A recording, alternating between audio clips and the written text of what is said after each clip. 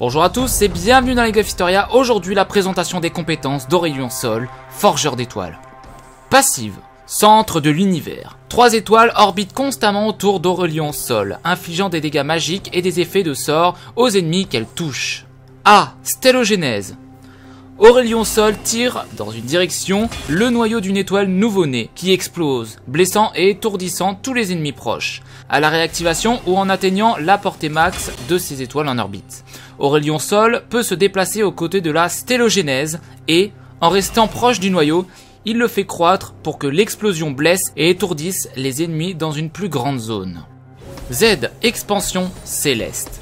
Aurélien Sol repousse ses étoiles jusqu'à sa bordure extérieure, augmentant grandement leur puissance. Expansion céleste coûte du mana à l'activation, puis draine du mana toutes les secondes pendant la durée d'activité de la compétence. Quand Aurélien Sol désactive cette compétence, ou est à court de mana, il rapproche ses étoiles. E. Comète légendaire. Passive. Aurélien Sol augmente peu à peu sa vitesse de déplacement quand il va constamment dans la même direction. Puis il perd de la vitesse en cas de virage serré. Une partie de cette vitesse est stockée sous forme d'effet vitesse de libération, lequel sont perdus entièrement quand un ennemi lui fait des dégâts. Active. Quand Aurélien Sol atteint le nombre max d'effets de vitesse de libération, il peut activer Comète légendaire pour rentrer ses étoiles en orbite et s'envoler, ce qui lui permet de survoler le terrain sur une longue distance. Il ne peut pas changer de trajectoire en vol et les dégâts subis ramènent Aurélien Sol à terre, rétablissant par la même occasion ses étoiles en orbite. R, ultime, cri de lumière. Aurélien Sol tire dans une direction une longue vague de feu stellaire qui blesse et ralentit tous les ennemis proches. Les ennemis proches, pris dans l'explosion, sont également repoussés jusqu'à la bordure extérieure d'Aurélien Sol. Rapidement, que nous dit Riot sur ses voies? Contrairement à la plupart des champions de League of Legends, Aurélien Sol inflige la majeure partie de ses dégâts via des compétences passives. Centre de l'univers crée un mini-jeu dans le jeu pendant la phase de landing. Aurélien Sol cherche à positionner ses étoiles de manière à ce qu'elles percutent son adversaire direct pendant que ce dernier doit rester en mouvement pour les éviter. La menace que fait peser ce passif poussera souvent l'adversaire à reculer pour se mettre à l'abri, laissant ainsi le champ libre au forgeur d'étoiles qui pourra activer l'expansion céleste et renforcer ses dégâts cycliques. Cependant, pendant que se joue ce petit duel, Aurélien Sol infligera inévitablement de nombreux dégâts collatéraux aux sbires ennemis et les réduira en poussière avec son feu stellaire constant. Grâce à cet effet de zone dissuasif, Aurélien Sol ne rencontre aucune difficulté quand il veut pousser sur sa voie, même quand il est concentré sur son duel.